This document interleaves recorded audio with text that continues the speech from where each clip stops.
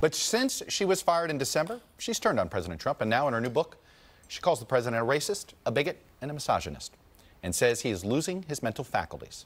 The White House has fired back in a statement, quote, this book is riddled with lies and false accusations. It's sad that a disgruntled former White House employee is trying to profit off these false attacks. And Omarosa has a recording that she says she recently made, uh, that she secretly made of her firing by John Kelly. We've got to talk to you about uh, leaving the White House. Um, it's come to my attention uh, over the uh, last few months that there's been some pretty, in my opinion, significant integrity issues. You're going to hear more of that recording in a moment. So, Omarosa Manigault Newman, former assistant to President Trump, director of communications for the White House Office of Public Liaison, joins me now. Thank you for having me, Welcome Chuck. Press. Let me start with um, what you describe in your book as a year-long effort to learn the truth about a rumor that Donald Trump had been caught on tape using the N-word while working on The Apprentice. And here's how you wrote about confirming with a source that the tape does in fact exist. Page 322 of your book. On this phone conversation, I was told exactly what Donald Trump said. Yes, the N word and others in a classic Trump goes nuclear rant. And when he'd said them, during production, he was mic'd, and there's definitely an audio track. For over a year, I'd been so afraid of hearing the specifics from someone who'd been in the room. Hearing the truth freed me from that fear. Did you hear the tape, or did you hear a description of the tape? Well, first of all, thank you for having me on. And in this book, I describe this long journey of hearing these rumors over and over again. And when I had an opportunity to meet up with three different sources, they describe the same exact statements. After I closed the book, I had an opportunity to go out in Los Angeles and sit down with the person who actually has a copy of the tape. And I heard his voice as clear as you and I are sitting here. You here. have heard the tape. I have heard since the tape. publication of this book. Absolutely. So you know it exists. And I know it exists. And what I regret is that these people are probably trying to leverage it as this October surprise. And I don't want to be a part of that. But I have heard for two years that it existed, and once I heard it for myself, it was confirmed what I feared the most that Donald Trump is a con and has been masquerading as someone who is actually open to engaging with diverse communities. But when he talks that way, the way he did on this tape, it confirmed that he is truly a racist Why didn't you get that in your book? close too soon, and I had been tracking, tracking. This person is so afraid because of the forces who are working to keep this tape from coming out. I mean, we first heard about it in the fall of 2016, got on a conference call with Katrina Pierson, mm-hmm. Lear, Lynne Patton, and Jason Miller, as you'll see in the book. Yeah. And they all suspected that it was true. In fact, Katrina Pierson, the spokeswoman for the campaign, said, Oh, he said it. It's true. But she never heard her say it, and she heard him say it, and Well- she is she's denied the Is she denying? I mean, she knows I have receipts. I think she should probably me read the this. book Had first you and then hear herself saying before it. before listening to that tape, before getting the tape that Mm-hmm. you, you just described, had you ever heard him? Were you ever in his presence when he used a racial slur? You know, I was in his presence when he said inappropriate things, but he has never said the N word in my presence ever. All right, let me uh, move on because you said um, that the betrayal, the idea that he might have used this word, um, that it would be this betrayal because you thought it would men, mean that he might have used it about you. Oh, Do you believe he used it about you? Possibly, because Donald Trump talks about everyone behind their backs. You leave the room, Chuck, he has a nickname probably for you. He has a nickname for everyone in his administration and in his circle. So I am pretty certain that he's probably said some very derogatory things about me. In fact, yesterday, on this moment before Charlottesville, the anniversary of Charlottesville, instead of talking about how to unify the nation, he actually insulted me by calling me a lowlife. That is a man who is inclined to start racially charged engagement and use race to kind of stir up his base. Here's what I think a lot of people are going to have trouble with. Um, he has said a lot of racial things. He said a lot of racial things during the campaign, calling Mexican rapists, attacking a federal judge because he was Hispanic. You even talk about his obsession with the quote Central Park Five um, mythology there, re- retweeting false crime statistic. All of that was taking place, and, and you said you acknowledged that he did things that were racial. Um, that he used race to manipulate people. You've said all those things. And then you wrote this in December of 2016. I am living the American dream because of Donald Trump. Look at my career, the wealth and exposure that I've had. It's very difficult to make the argument that Donald Trump doesn't like black people and black women. Absolutely. Um, being used by Donald Trump for so long, I was like the frog in the hot water. You don't know that you're in that situation until it just keeps bubbling and bubbling. It's clear in hindsight, because hindsight, of course, is 2020. But as I talk about in Unhinged, you get to see from 2003, when I first met Donald Trump, the evolution of a very unique relationship between he and I. And I talk very, very intimately about the things that he said, his, his pledge to do more for the community, his, as I said, investment in my own career. But what I know now, I didn't have the benefit of in 2003 or 2004 or 2010. And so yes, it is hindsight. But I will say this to you I was complicit with this White House deceiving this nation.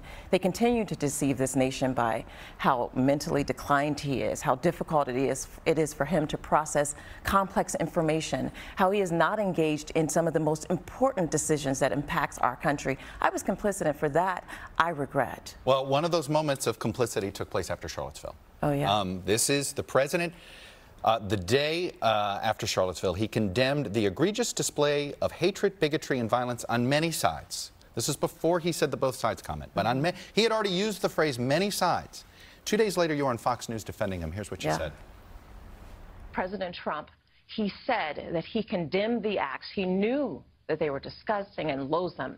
But he did not come out until the facts were known about the investigation. And today, he made a statement that was very clear and very decisive about where he stood on these acts.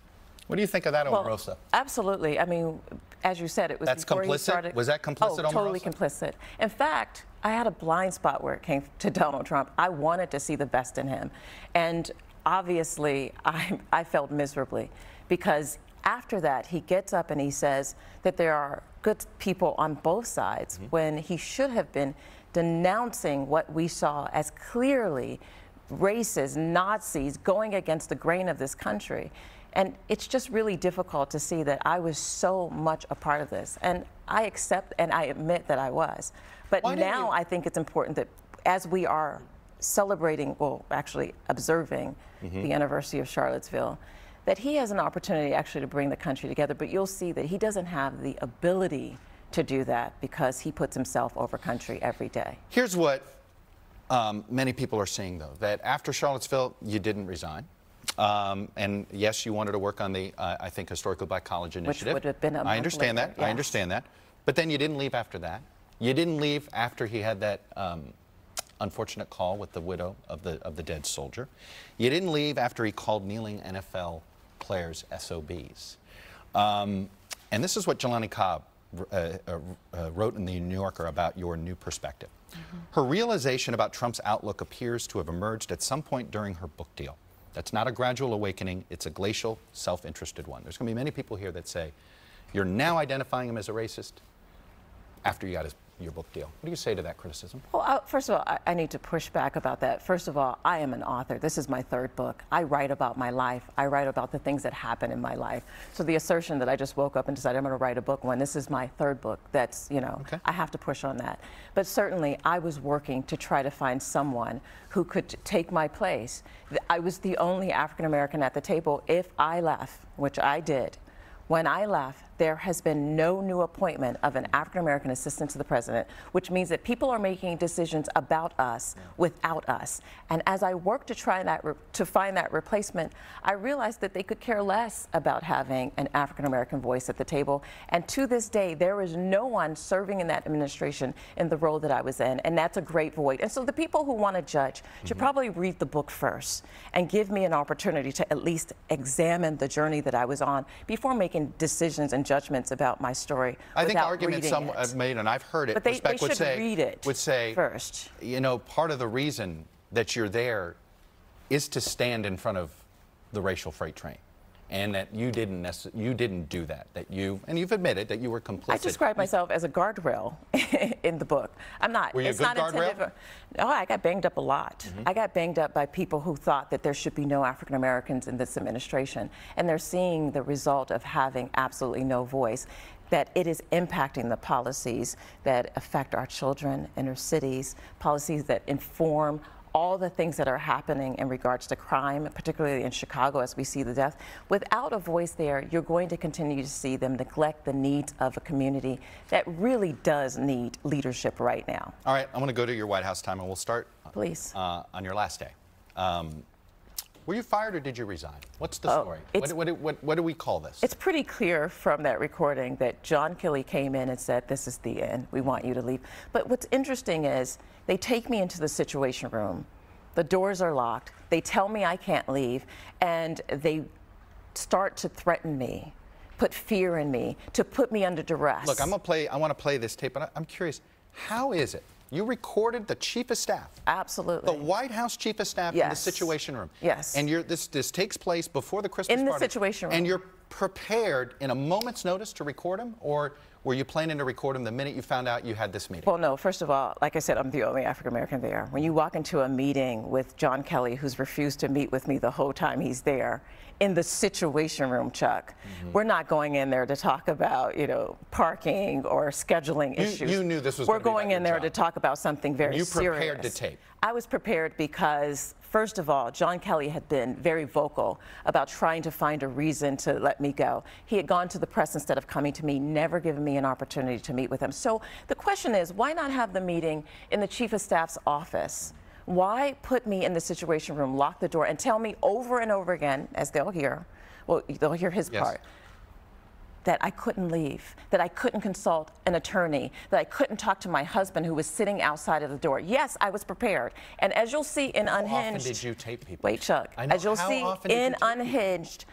Unhinged, I protected myself because this is a White House where everybody lies. The president lies to the American people. Sarah Huckabee stands in front of the country and lies every single day. You have to have your own back because otherwise you'll look back and you'll see 17 You know knives in your back. It looks though That's that not you disloyalty. people, that That's not disloyalty because let me tell you, Chuck, if I did not have this recording, Yeah. people would still believe the false incredible story that I was running around the White House, the false story that was told by a reporter and repeated by this network and other reporters that I tried to charge Right. the residents of the White House. And it's a lie. If I didn't have this recording, listen. Yep. People would still think that I was trying to set off alarms. So, yes, I had to protect myself, and I have no regret about it. Let's listen to the recording. I think it's important to understand that if we make this a friendly departure, um, we can all be, you know, you can look at, look at your time here in, in uh, the White House as a year of service to the nation, uh, and then you can go on without any type of uh, difficulty in the future relative to your reputation. How did you take that comment about your reputation? It's very obvious a threat. He's, he goes on to say that things can get ugly for you. The Chief of Staff of the United States, under the direction of the President of the United States, threatening me on damage to my reputation and things getting ugly for me. That's downright criminal.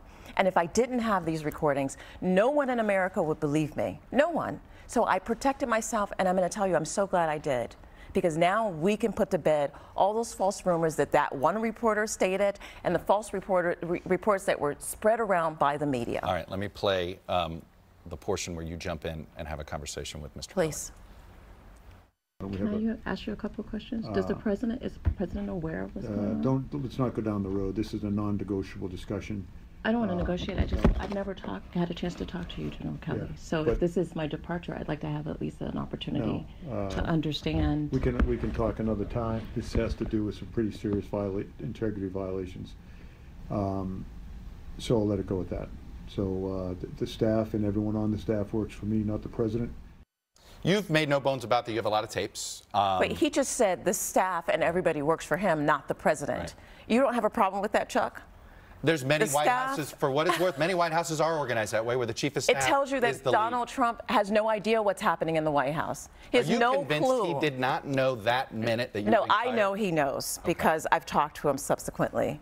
And he said he delegated. I delegated. Mm-hmm. So he knew. He knew that John Kelly was going to take me into the Situation Room and lock me in there, threaten me, and say that things were going to get ugly for me and there would be damage to my reputation. And you know what? The next day there was damage to my reputation because they then put out a story using and exploiting an African American reporter to say that I was running around the residence and trying to break into a Christmas party, which is ludicrous, Chuck. And it's unacceptable. And that's the way these folks operate. When he said that people answer to him and not the president. That should be concerning for every single American that hears that. Let me ask you about the integrity issues that he brought up.